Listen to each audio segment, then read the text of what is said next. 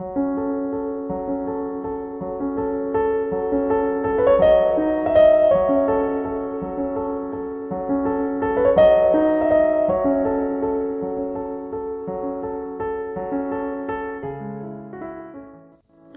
to everyone joining us for our Bible study session at this hour.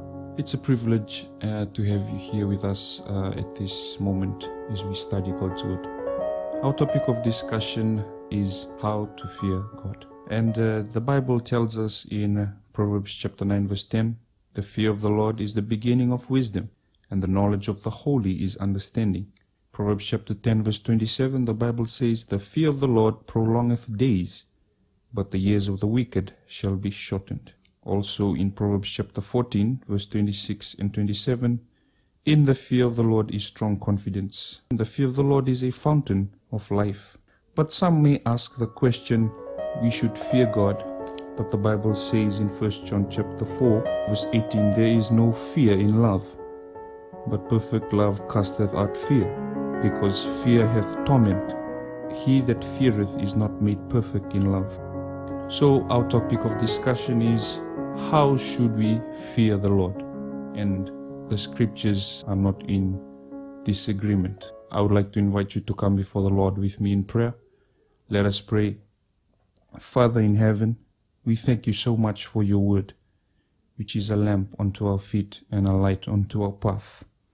We ask you at this time for your Holy Spirit to guide us into all truth Convict us of our sins that we may surrender them to you, Holy Father, and be cleansed with the blood of Jesus. Bless our minds so that we may understand spiritual things. In Jesus' name we pray. Amen. The Bible tells us in Ecclesiastes chapter 12, verse 13 Let us hear the conclusion of the whole matter. Fear God and keep his commandments for this is the whole duty of man.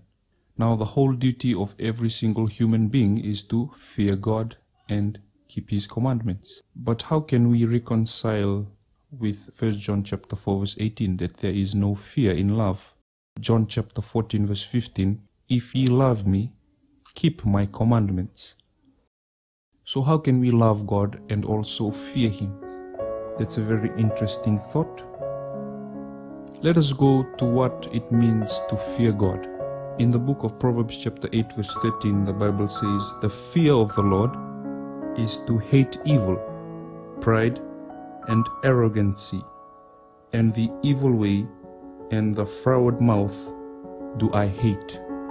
So the fear of the Lord is to hate evil. Now, if we love God and we fear God, we are to keep his commandments, to hate evil. Also, Matthew chapter 6 verse 24, the Bible says, No man can serve two masters, for either he will hate the one and love the other, or else he will hold to the one and despise the other. Ye cannot serve God and mammon. So, when we put all of these scriptures together, if we love God, we are to fear Him. And in in First John chapter four verse eighteen, it says, "Perfect love casteth out fear." When the Bible says that we are to fear God or to have the fear of the Lord, it is not in um, the understanding of fear that the world understands or defines fear as. The Bible says, Matthew chapter 6, verse 27, that we cannot serve God and mammon. If we love one, we will hate the other. And we saw in Proverbs chapter 8, verse 13, the fear of the Lord is to hate evil.